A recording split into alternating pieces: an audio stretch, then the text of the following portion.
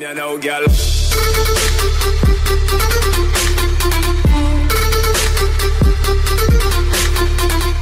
Khán giả phản ứng khi biết Sơn Tùng MTV đi xe ôm quay MV Lạc Choi không anti nữa.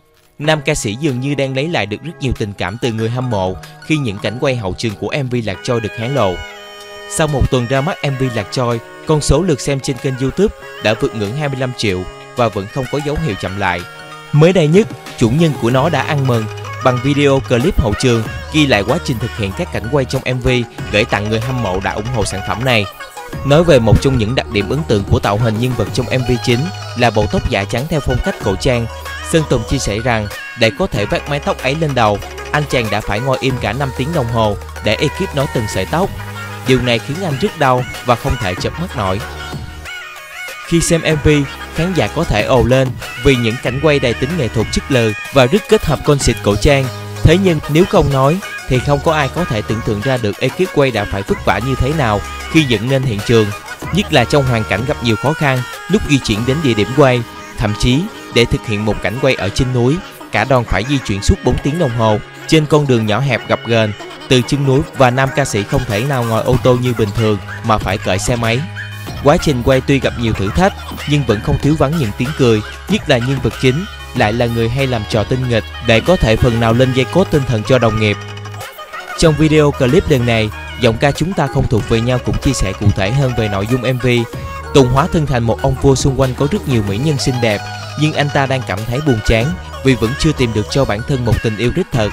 Tất cả mọi người có thể nhìn thấy sự lạnh lùng tàn ác từ vẻ bề ngoài, nhưng bên trong anh lại là một người yếu đuối cô đơn. Tùng hy vọng thông qua MV này, khán giả có thể hiểu được hơn những thông điệp mà ekip truyền tải.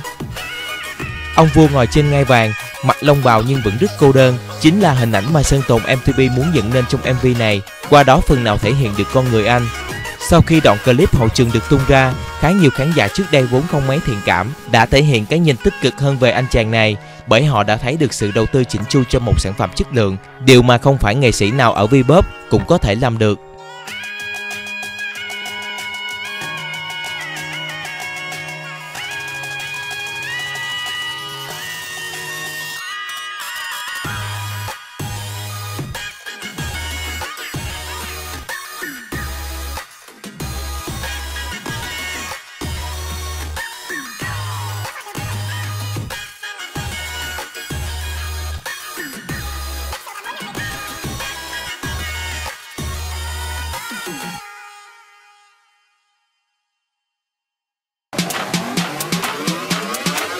Xin chân thành cảm ơn các bạn đã dành chút thời gian để theo dõi kênh của chúng tôi.